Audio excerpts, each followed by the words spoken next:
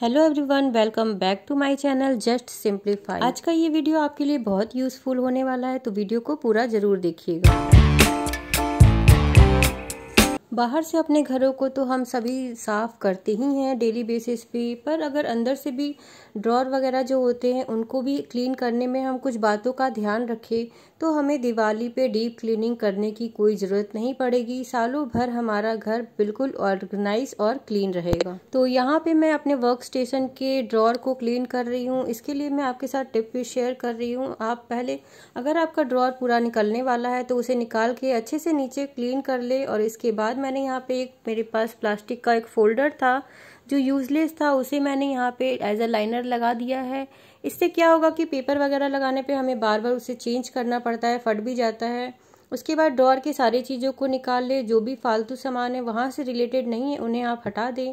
और चीज़ों को स्टेशनरी वगैरह को ऑर्गेनाइज करने के लिए मैंने यहाँ पे कुछ फ़ूड कंटेनर का यूज़ किया है, जो कि फ़ूड वगैरह ऑर्डर करने पे हमारे घर में इकट्ठा हो जाते हैं, उन्हें हम फेंक देते हैं, पर उन्हें बिल्कुल भी ना फेंके। इस तरीके से आप उसका यूज़ कर सकते हैं। तो एक इस प्लेन वाले में मैंने सारे स्टेशनरी पेन्स पेंसिल वगैरह रख दिए हैं, और दूसरा जिसमें कि स्लॉट बना हुआ था तो इसमें मैं सारे छोटे मोटे जो चीज़ें होती हैं स्टेशनरी से रिलेटेड उसे मैं रख दूँगी अलग अलग सेग्रीगेट करके। कॉइन्स वगैरह अक्सर हमारी आदत होते हैं, हम ड्रॉर वगैरह में डाल देते हैं तो उसको भी ऑर्गेनाइज करके ही रखना चाहिए। पैसे तो बिल्कुल भी इधर उधर फेंक के बिल्कुल भी नहीं रखना चाहिए। और यहाँ पे देखिए, मैंने सारी चीज़ों को अच्छे से ऑर्गेनाइज कर दिया है। एक मेरे पास एक्स्ट्रा मोबाइल स्टैंड था, उसे भी मैंने रख दिया है। और ड्रॉर वगैरह अधिकतर जो होते हैं, इस तरीके के वायर से अनऑर्गेनाइज और अनटाइडी हो जाते हैं। तो इसे भी मैं अपने हाथ पे इस तरीके से फोल्ड कर रही हूँ और फोल्ड करने के बाद मैं इसे ऑर्गेनाइज करने के लिए यूज़ कर रही हूँ। मेरे पास एक ट्यूबलाइट का ये बॉक्स था तो इसे मैंने छोटे छोटे पीसेस में कट कर लिया है और इसमें मैं इसे ऑर्गेनाइज करके रख दूँगी। अगर आपके पास नहीं है तो आप कोई भी जो पेपर होता है, उसे आप फोल्ड करके स्टेपल करके भी इस तरीके से बना करके यूज़ कर सकते हैं। तो यहाँ पे मैंने एक ड्रॉर को बहुत अच्छे से क्लीन कर लिया है ऑर्गेनाइज कर लिया है। और यहाँ पे मैं दूसरे ड्रॉर को भी ऑर्गेनाइज करने का तरीका आपके साथ शेयर कर रही हूँ। तो इसमें मैंने पेपर का जो लाइनर लगाया था, उसे निकाल के अच्छे से क्लीन कर लूँगी। और एक साफ़ कपड़े से इस तरीके से डस्ट फ्री कर लूँगी।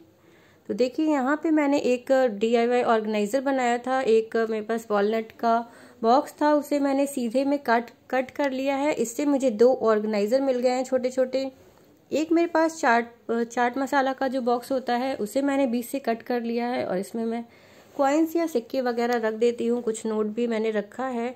और एक ये जो बॉक्स देख रहे हैं, ये चूड़ी का जो बॉक्स होता है, वो है। काफ़ी दिन से यूज़ कर रही हूँ, इसलिए थोड़ा सा पुराना हो गया है। जैसे ही मेरे पास दूसरा बॉक्स आएगा, मैं इसे रिप्लेस कर दूँगी।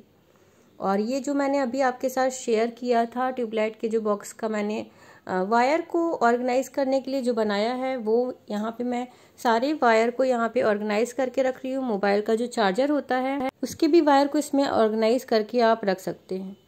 वॉलेट वगैरह मैंने यहाँ पे रख दिया है और कुछ एक्स्ट्रा फ़ोन था तो उसे भी मैंने यहाँ पे रख दिया। अब इसे आप आराम से लगा तो देखा आपने बिना एक पैसे खर्च किए हुए आपका जो ड्रॉर है ऑर्गेनाइज हो गया है। जब भी आपके पास नए बॉक्स इस तरीके के आए तो आप उन्हें रिप्लेस कर दे फट जाने पर तो अगर चीज़ें ऑर्गेनाइज होती हैं तो उसे क्लीन करना बहुत ही आसान हो जाता है। यहाँ पे मैं अपने बेड बॉक्स को भी क्लीन करके आपके साथ दिखा रही हूँ कि इसे मैं कैसे क्लीन करती हूँ। इस तरीके के जो बॉक्स टाइप की चीज़ें होती हैं, उन्हें क्लीन करना बड़ा ही मुश्किल होता है, क्योंकि उसके अंदर का जो डस्ट होता है, उसे निकालना बड़ा ही टफ हो जाता है।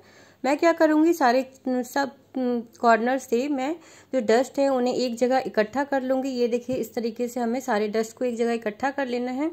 और जितना भी आपसे उठ सके हाथ में, आप उसे उठा के फेंक दीजिए। और बाकी का जो है, उसे मैंने एक स्प्रे से स्प्रे किया है कुछ, और इसके बाद गीले कपड़े से इसे मैं इस तरीके से पोछ लूँगी। तो ये पूरा क्लीन हो जाएगा। ये एक डी क्लीनर है। इसका वीडियो मैंने आपसे पहले भी शेयर किया हुआ है। इसके बाद जितनी भी चीज़ें इस बेड बॉक्स में मैं रखती हूँ, उन्हें ऑर्गेनाइज करके अच्छे से रख लूँगी। तो दिवाली का टाइम था तो मैंने सारे पिलो कवर जितने भी कुशन कवर वगैरह, जो भी चीज़ें थी, सब निकाल दिया था वॉश करने के लिए। उसके बाद मैंने इसे यहाँ पे ऑर्गेनाइज करके रखा था। और इसमें मैं बेड से रिलेटेड जो भी चीज़ें होती हैं, उन सभी चीज़ों को रखती हूँ। कप, जो भी पिलो कवर निकला है, उसे वॉश करने में डाल दूँगी। और ये हमारा एक साइड का ड्रॉर जो है बेड बॉक्स का, वो ऑर्गेनाइज हो गया है। ऊपर से भी थोड़ा सा झाड़ लेंगे और इसके बाद इस वाला जो बॉक्स है, इस साइड वाला तो यहाँ पे मैं आपके साथ टिप एक शेयर करना भूल गई थी कि मैं यहाँ पे टाइमर लगा करके काम को करती हूँ, जिससे कि मुझे पता रहता है कि कितने टाइम में मुझे काम को ख़त्म करना है। अच्छे से डस्टिंग कर लेंगे और उसी तरीके से जैसे मैंने वो वाला ड्रॉर क्लीन किया था ना, उसी तरीके से मैं इसको भी क्लीन कर लूँगी। तो अच्छे से क्लीन करने के बाद इस वाले जो साइड का जो आप बॉक्स देख रहे हैं, इसमें मैं अपने सारे bed sheet pillow cover cushion cover दोहर वगैरह जो भी होता है, पर्दे वगैरह, जो भी लिनन से रिलेटेड चीज़ें होती हैं, वो मैं इसमें ऑर्गेनाइज करके रखती हूँ।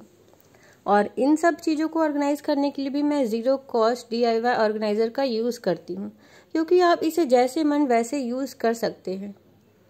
तो देखिए, यहाँ पे मैंने कैरी बैग्स का यूज़ किया हुआ है और इसमें देखिए, इस वाले में मैंने फ़ाइल सिस्टम में सारे बेडशीट को लगाया है और ये एक बॉक्स मैंने आपके साथ शेयर किया था और उसमें मैंने सारे पिलो कवर वगैरह रख दिए हैं। इस और एक पैकेट है तो इसमें मैंने सारे बेड बेडशीट रख रही हूँ। इस तरीके से फ़ाइल सिस्टम में रखने से आपको चीज़ें आसानी से मिल जाती हैं। उन्हें ढूंढना नहीं पड़ता। एक चादर निकालने के बजाय दस चादर आपके गिरते नहीं हैं और आराम से निकल भी जाते हैं। कोई भी चीज़ हो, आसानी से आपको मिल जाती है, चीज़ें ऑर्गेनाइज रहती है तो इसे क्लीन करना भी आसान होता है। तो कैसा लगा आपको मेरा आज का ये वीडियो कमेंट में मुझे ज़रूर बताइएगा। चैनल पे नए हैं तो चैनल को सब्सक्राइब कर लीजिएगा। इसी तरीके की इंटरेस्टिंग होम एंड किचन से रिलेटेड टिप्स एंड हैक्स मैं आपके साथ शेयर करती रहती हूँ, जिससे कि आपका डेली का काम आसान हो सके। मिलती हूँ आपसे नेक्स्ट वीडियो में। Thank you so much for watching